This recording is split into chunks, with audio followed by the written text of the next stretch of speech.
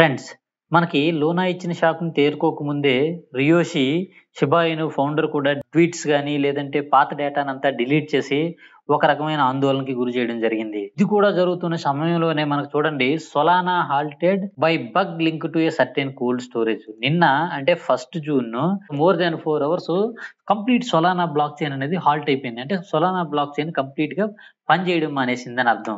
చూడండి దీనికి సంబంధించిన ట్వీట్ కూడా మనం ఇక్కడ చూసుకోవచ్చు. Watcher guru breaking Solana network has been halted globally. So దీని వల్ల సొలానా ప్రైస్ మీద అయితే పెద్దగా ఇంపాక్ట్ అయితే పడలేదు కానీ ఇన్వెస్టర్స్‌లో మాత్రం చాలా పెద్ద ఆందోళన అనేది వచ్చింది.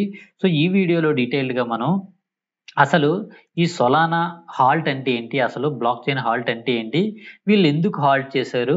లాంగ్ టర్మ్‌లో మనకి ఎఫెక్ట్ అనేది సొలానా ప్రైస్ మీద కానీ లేదంటే ఇన్వెస్టర్స్‌గా మనం సొలానా కోసం తెలుసుకోవాల్సిన ఇంపార్టెంట్ విషయాలు ఏంటనేది ఈ వీడియోలో డీటెయిల్గా చూద్దాం.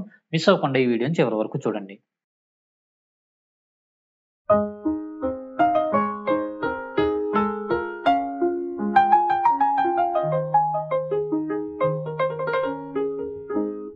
Hello everyone welcome to Cryptopodium YouTube channel a one stop shop for all your crypto queries friends చూడండి మనకి సోలానా బ్లాక్ చైన్ అనేది నిన్న more than four hours halt అయిపోయింది. కంప్లీట్గా హాల్ట్ అయిపోయింది. చూడండి validator restarted the network after four hours of the down time by disabling the so called durable nonce transactions that have found favour among the some exchanges so ఈ durable nonce transactions అనేవి ఒక set of transactions related to offline related transactions ఇవన్నీ. వీటికి సంబంధించి యాక్చువల్గా ఒక bug ఉంది. Solana నెట్వర్క్లో. ఆ బగ్ అనేది చాలా రోజుల నుంచి ఉంది బట్ ఇప్పటి వరకు అది పెద్దగా ఎఫెక్ట్ కలిగించలేదు. ఈ మధ్య సొలానాలో ట్రాఫిక్ అది బాగా పెరిగిపోవడం వల్ల నెంబర్ ఆఫ్ ట్రాన్సాక్షన్స్ పెరగడం వల్ల నిన్న కొత్త బ్లాక్స్ యాడ్ చేయడంలో కొంత ప్రాబ్లం వచ్చి పడింది. సో ఆ ప్రాబ్లం ఏంటంటే Solana suffered its latest outage Wednesday failed for over more than four hours by a bug how the block processes in each type type of transaction that is design for offline use cases చెప్పాం కదా offline use cases అంటే మనం మన వ్యాలెట్స్లో పంపించుకోవడం కానీ లేదంటే cold storage ఎస్పెషల్గా మనకి ledger కానీ నానో కానీ ఇలాంటి ఆఫ్లైన్ స్టోరేజెస్ వాడుకునేటప్పుడు కానీ వాటికి పంపించేటప్పుడు కానీ వాటి నుంచి మనం డైరెక్ట్గా ట్రాన్సాక్షన్స్ ఎగ్జిక్యూట్ చేసేటప్పుడు కానీ వీటిలో ప్రాబ్లం ఉంది. సో ఆ బగ్ అనేది ఎప్పటి నుంచో ఉన్నా కూడా ఎప్పటి వరకు అది పెద్దగా ఇబ్బంది పెట్టలేదు. బట్ సడన్గా ఇది నిన్న ప్రాబ్లం అయింది. కొత్త బ్లాక్స్ యాడ్ చేయడంలో.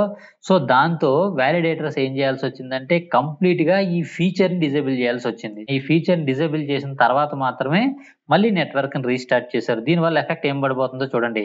బగ్ ఫిక్స్ అనేది ఎప్పుడైతే జరుగుతుందో అప్పటి వరకు కూడా ఫండ్స్ అనేది డిఫరెంట్ డిఫరెంట్ ప్లేసెస్కి అంటే ఫర్ ఎగ్జాంపుల్ మనకు తెలుసు సోలానాకి మనకి ఫ్యాంటమ్ వాలెట్ ఉందని ఈ ఫ్యాంటమ్ వాలెట్కి పంపించడం కానీ లేదంటే మనకి కోల్డ్ వ్యాలెట్స్కి పంపించుకోవడం లాంటి లెడ్జర్ కానీ ట్రెజర్ కానీ ఇలాంటి వ్యాలెట్స్కి పంపించుకోవడంలో కానీ మనకి ప్రాబ్లం అవుతుంది. ఈ మధ్యకాలంలో ఈ ప్రాబ్లం కొంచెం కొంచెం ఉంది. బట్ సడన్గా నిన్నది ఈ ప్రాబ్లం బాగా ఎక్కువైపోవడం వల్ల బ్లాక్ చైన్ని హాల్ట్ చేసి అప్పుడు మళ్ళీ ఆ ఫీచర్ని డిజేబుల్ చేసిన తర్వాత మళ్ళీ నెట్వర్క్ని రీసార్ట్ చేశారు. సో ఈ ప్రాబ్లం వల్ల చెప్పుకున్నాం కదా మనకి ట్రాన్స్ఫర్స్ అవి ప్రాబ్లం అవుతాయని. దీనివల్ల సొలానా డిపాజిట్స్ విత్ డ్రాల్స్ అనేవి చాలా ప్రాబ్లం అయ్యాయి. ఎస్పెషల్గా ఈ ప్రాబ్లం అనేది మనకి Binance Coinbase KuCoin exchanges వీళ్ళందరూ కూడా రిపోర్ట్ చేయడం జరిగింది. సో సడన్గా ఎప్పుడైతే బాగా ప్రాబ్లం అవుతుందో సొలానా బ్లాక్ చైన్ హాల్ట్ చేయాల్సి వచ్చింది. సో ఇక్కడ వీళ్ళు ఇచ్చారు. డ్యూరబుల్ నాన్సెన్సెస్ అంటే ఏంటని ఇచ్చారు చూడండి. ఫెడరా set durable nonces represented an incredibly small percentage of transactions of Solana until recently so ఇవి చాలా తక్కువ జనరల్గా చాలా తక్కువ మంది మాత్రమే ట్రాన్స్ఫర్స్ అది చేస్తుంటారు. మాక్సిమం ఎక్స్చేంజెస్లో కొంటారు ఎక్స్చేంజెస్లోనే అమ్ముతూ ఉంటుంటారు. In crypto currency a a nonce is a random number use for a specific purpose so మనకి సొలానా అనేది ప్రూఫ్ ఆఫ్ హిస్టరీ అనే కాన్సెప్ట్ మీద పనిచేస్తూ ఉంటుంటది. సో ఈ ప్రూఫ్ ఆఫ్ హిస్టరీ వల్ల మనకి ఏంటంటే పాత ట్రాన్సాక్షన్స్ రిలేటెడ్ డేటా కూడా కొన్నిసార్లు అవసరం అవుతూ ఉంటుంది. సో మనకి కోల్డ్ స్టోరేజెస్ నుంచి కానీ ఆ డేటా అంతటిని కూడా ఈ కన్సెన్సస్ మెకానిజం వాడాల్సి ఉంటుంటుంది. This was probably a bug that existed for a while, but never really became an issue because it was something that most most probably is. So ఇప్పుడు ఎప్పటి నుంచో ఉంది కానీ ఇది పెద్ద ప్రాబ్లం రాలేదు. బట్ ఏమైందంటే ఈ ట్రాన్సాక్షన్స్లో కొంచెం ల్యాగ్ అవడం వల్ల కొత్త బ్లాక్ని క్రియేట్ చేయడంలో కొంచెం ప్రాబ్లం అయింది.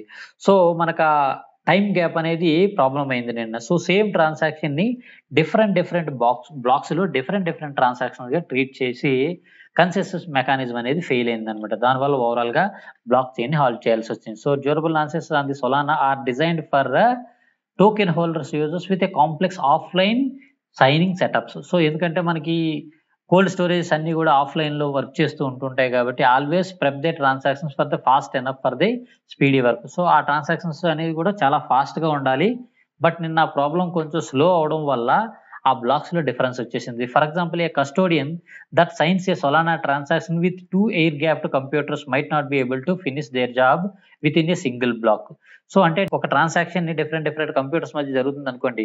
అంటే ఫర్ ఎగ్జాంపుల్ ఒక కంప్యూటర్ నుంచి ఇంకొక కంప్యూటర్కి మనం ఫండ్ ట్రాన్స్ఫర్ చేసామంటే కనుక ఇది ట్రాన్సాక్షన్ అనేది జనరల్గా ఒక సింగిల్ బ్లాక్లో కంప్లీట్ అయ్యి ఒక సింగిల్ ట్రాన్సాక్షన్గా ట్రీట్ అవ్వాలి. బట్ నిన్న మాత్రం అది అలా కాకుండా డిఫరెంట్ డిఫరెంట్ ట్రాన్సాక్షన్స్గా ట్రీట్ చేయడం జరిగింది. సింగిల్ ట్రాన్సాక్షన్ కాకుండా network validators double counted them as single transaction. So different different బ్లాక్స్లోకి వెళ్ళిపోయింది దానివల్ల.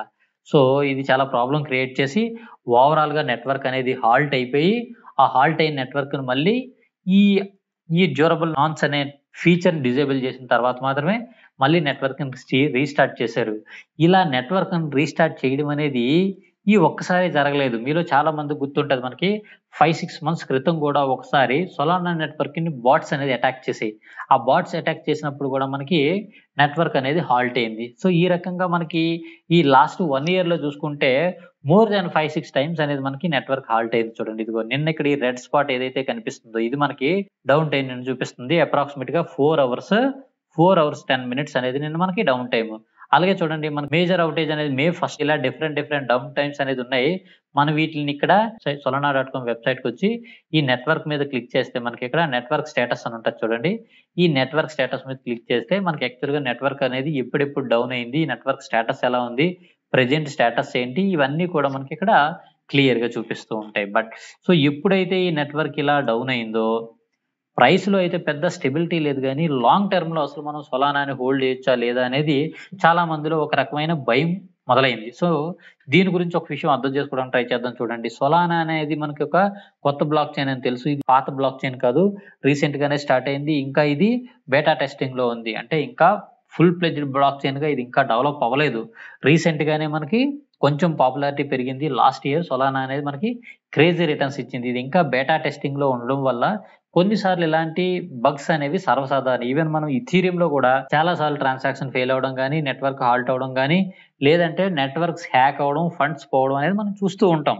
ఇవి బ్లాక్ చైన్లో క్వైట్ కామన్ సో మనం పెద్దగా వరి అవ్వాల్సిన అవసరం లేదు. మనం ఓవరాల్గా చూసుకుంటే కనుక సొలానా అనేది powerful for developers fast for everyone చాలా ఫాస్ట్ నెట్వర్క్ ఇది ఎంత ఫాస్ట్ అంటే ఒక్క సెకండ్లోనే మనకి sixteen hundred fifty five transactions అలా జరుగుతూ ఉంటాయి ట్రాన్సాక్షన్ ఫీ కూడా చాలా తక్కువ ఫాస్టెస్ట్ నెట్వర్క్ ఈ అన్నిటి అడ్వాంటేజెస్ వల్లే మనకి చాలా చాలా పెద్ద ప్రాజెక్ట్స్ ఎస్పెషల్గా మనకి ఎన్ఎఫ్టి ప్రాజెక్ట్స్ కానీ ఇవన్నీ కూడా ఈ మధ్య మనకి సొలానా నెట్వర్క్ రావడం స్టార్ట్ అయ్యాయి. మనకు అందరికీ బాగా తెలుసు స్టెప్ అండ్ ప్రాజెక్టు ఈ మధ్య ఎంత సెన్సేషన్ క్రియేట్ చేస్తుందో.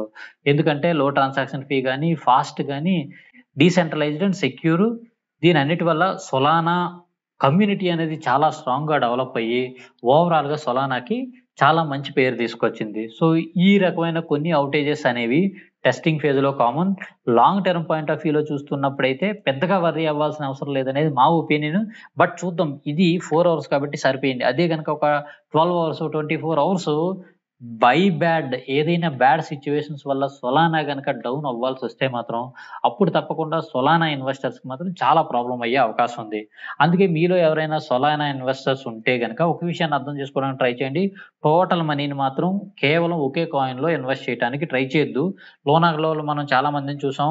ఫోర్ ల్యాక్స్ ఫైవ్ ల్యాక్స్ మేము ఓన్లీ లోనా కాయిన్లోనే ఇన్వెస్ట్ చేసాం. అది కంప్లీట్గా ఒకేసారి జీరో అయిపోయిందని మాకు చాలా మంది మెసేజెస్ వచ్చాయి. సో మీరు కూడా అలాంటి మిస్టేక్ చేయడానికి ట్రై చేయొద్దు. టోటల్ మనీని ఓన్లీ సొలానోలో ఇన్వెస్ట్ చేయకుండా పోర్ట్ఫోలియో అలొకేషన్స్ ఫాలో అవుతూ ఇలాంటి మార్కెట్లో మనకి పోర్ట్ఫోలియో అలొకేషన్ ఫాలో అవడం వల్ల రిస్క్ తగ్గించుకోవడంతో పాటు లాంగ్ టర్మ్లో మంచి గెయిన్స్ చేయడానికి అవకాశం ఉంది కాబట్టి మనకు పోర్ట్ఫోలియో అలొకేషన్ కానీ పోర్ట్ఫోలియో మేనేజ్మెంట్ కానీ ఇవన్నీ చాలా ఇంపార్టెంట్ ఎందుకంటే ఆల్ట్ కాయిన్స్ అనేవి ఏ రోజు ఎలాంటి ప్రాబ్లం వస్తుందో ఏ రోజు ఎలాంటి ఫెయిల్యూర్ వస్తుందో ఎవరు ఊహించలేము. చూడండి మనకి ఎన్ని ఆల్ట్ కాయిన్స్ ఉన్నావో చూడడానికి మాత్రం అన్ని టాప్ ఆల్ట్ కాయిన్స్ లాగే. మొన్నటి వరకు ఫెయిల్ అవ్వకముందు లోనా కూడా మనకి ఒక top ten alt coin. But సడన్గా అది ఎంత ప్రాబ్లం క్రియేట్ చేసిందో మనకు తెలుసు. తర్వాత రిపిల్ కూడా టూ ఇయర్స్ బ్యాక్ చాలా పాపులర్ కాయిన్. చాలా మంచి క్రేజ్ ఉండే కాయిన్. బట్ తర్వాత ఎస్ఈసి కేసు వల్ల అది ఏమైందో మనకు తెలుసు. ఇప్పుడు సొలానా డౌన్ వల్ల ఇది. ఈ రకంగా చూసుకుంటే మనకి ఆల్ట్ కాయిన్స్లో ఎప్పుడు కూడా ఏదో కాయిన్లో ఏదో ఒక సందర్భంలో ఏదో ఒక ప్రాబ్లం వస్తూ ఉంటుంటది. దానివల్ల అందుకే మనం పోర్ట్ఫోలియో డైవర్సిఫికేషన్ అనేది చాలా ఇంపార్టెంట్. ఈ విషయాలన్నీ అర్థం చేసుకొని మాత్రమే క్రిప్టో కరెన్సీస్లో ఇన్వెస్ట్ పెట్టండి. అంతేగాని బ్లైండ్గా ఒకే కాయిన్లో తీసుకెళ్ళి ఇన్వెస్ట్మెంట్ పెడితే కనుక భయంకరమైన లాసెస్ భరించాల్సి ఉంటుంది. లాంగ్ టర్మ్లో చాలా బాధపడాల్సి ఉంటుంది.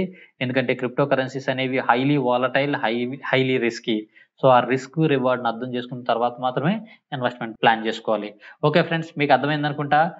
మీరు కూడా ప్రాపర్ రీసెర్చ్ చేసిన తర్వాత మాత్రమే మీ ఇన్వెస్ట్మెంట్ ప్లాన్ చేసుకోండి.